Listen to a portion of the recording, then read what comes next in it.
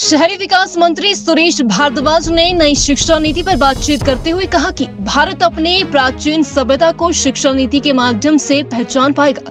कहा कि अब तक भारत में कई बार शिक्षा नीति बनाई गई, लेकिन पूरी तरह से सफल नहीं हो पाई। कहा कि 75 वर्षों से देश में अंग्रेज़ों द्वारा स्थापित किए गए शिक्षा मॉडल की शिक्षा दी जा रही है। भारत विश्व गुरु के रूप में जाना जाता है। वैदिक काल से जो शिक्षा पद्धति यहाँ चल रही है उसका अनुसरण पूरी दुनिया ने किया है। लेकिन इसमें विद्यार्थियों से भी जो है संवाद हो सके और उनके भी इसमें अभी तक जो है कि दो साल हो गए हैं। 1920 में आई 2020 में आई है ये शिक्षा नीति। तो अभी तक बहुत सारे लोगों ने इसको पढ़ लिया है।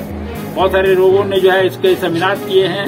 हिमाचल प्रदेश में भी उच्चतर शिक्षा परिषद के चेयरमैन सुनील गुप्ता जी की अध्यक्षता में सभी महाविद्यालयों में जो है इस पर सेमिनार गोष्ठियाँ होती रही हैं।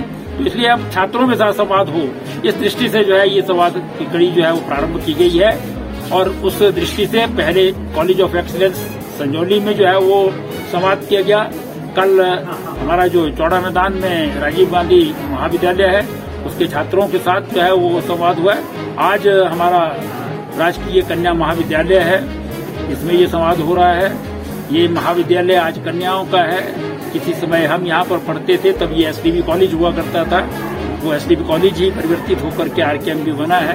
तो आज जो है वो छात्राओं के साथ जो है वो संवाद होगा। हालाँकि संजौली और कोटखेरा में भी अधिकांश जो है वो अब विद्यार्थी छात्राएँ हैं। संजौली में भी इस बार की एडमिशन लगभग सत्तर प्रतिशत छात्राओं की है।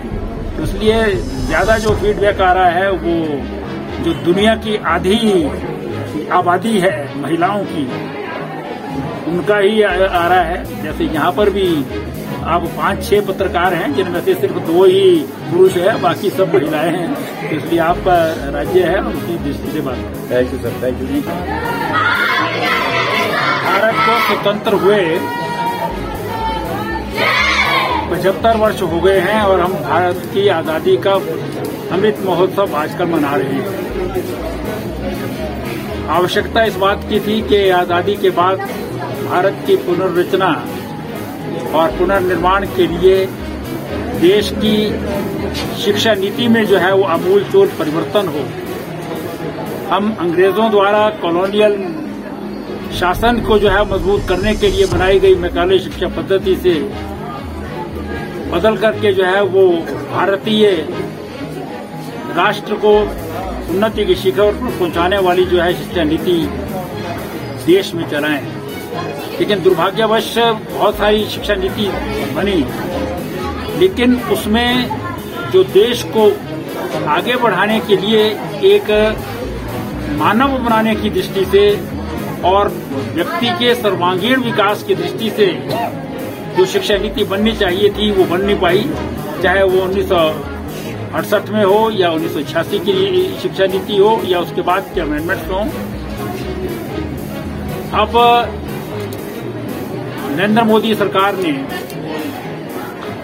देश के बहुत प्रमुख वैज्ञानिक, इसरो के पूर्व चेयरमैन के कस्तूरी रंगन जी की अध्यक्षता में एक कमेटी का गठन किया, जिसने सारे देश भर में जो है वो सजेशंस लिए वार्तालाप किए सेमिनार्स किए, शिक्षकों से, विद्यार्थियों से, सभी प्रकार के स्टेक होल्डर से बात करने के बाद जो है वो शिक्षा नीति तैयार की, जिसे हिंदुस्तान की सरकार ने जो है अंगीकार किया है। और अब वो सारे देश में जो है उसको इम्प्लीमेंट करने के लिए जो है वो आगे कोशिश जो है वो उसमें की जा रही है। हिमाचल प्रदेश सरकार ने इस शिक्षा नीति को इम्प्लीमेंट करने का जो है निर्णय लिया है। इसी को ध्यान में रखते हुए टीचर्स के साथ, शिक्षाविदों के साथ संवाद